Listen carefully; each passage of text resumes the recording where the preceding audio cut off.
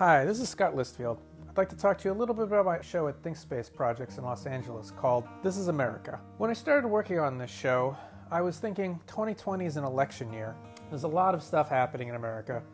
A lot of stuff that, um, quite frankly, seems not so great. The news seems endlessly bad. There's a lot of people joking about how we're living in the darkest timeline, and, and quite frankly, it seems like it's not so much of a joke. I wanted to make a show that really kind of captured how I felt about the state of America in 2020 and what feels like a really pivotal time for us. A couple years ago, I had my last show at ThinkSpace, uh, and it was called 1984. And it was a show that dealt with kind of a stylized version of the novel 1984. But I combined it, I mixed it with sort of a nostalgia for the 80s of my youth. So I made it all sort of bright colors and you know, it looked like a like a trapper keeper with uh, pinks and purples and Max Headroom, and and I included references to popular music of the time. But it was also a very political show. And for this show, I was thinking of doing something similar, um, although aesthetically very different. Uh, Andrew Hosner, the um, one of the owners of ThinkSpace, pitched the idea to me of doing a show about uh, national parks. And I really liked that idea. I love the idea because national parks, you know, they were under fire. Uh, the president has been talking about privatizing certain pieces of it. And it seemed to me like a really apt metaphor for how our country is uh, sort of selling off some of the best parts of it and, and, and trading away what, what seems to me like a really vital part of what defines this country. Now, when I stopped to think about it some more,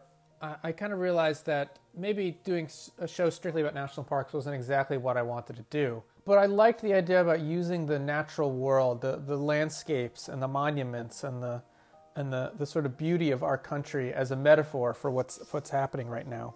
I was also inspired by the uh, Childish Gambino song, and more specifically, the, the video that went along with his song, This is America uh, which, in my opinion, is one of the most impressive pieces of art I've seen over the last few years. Um, but I wanted to take, I wanted to really do my take on the subject matter. Uh, I wanted this to be my version of America, what I saw as what's happening now.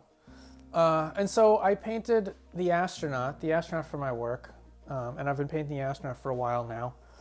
Um, the astronaut usually explores a, a somewhat dystopian place, and I, I wanted to send this astronaut out to explore the kind of wide open parts of the country as I see it. The you know the purple mountains, the cornfields, the Grand Canyon, uh, and also visit some of the monuments that we've built to ourselves. Um, Lincoln, the Lincoln Memorial, the Hoover Dam. You know the places in this country that really feel like the things that represent us most. Um, and I wanted to use all of these things as a metaphor for where we really are right now in the world, in this country, uh, at this very moment.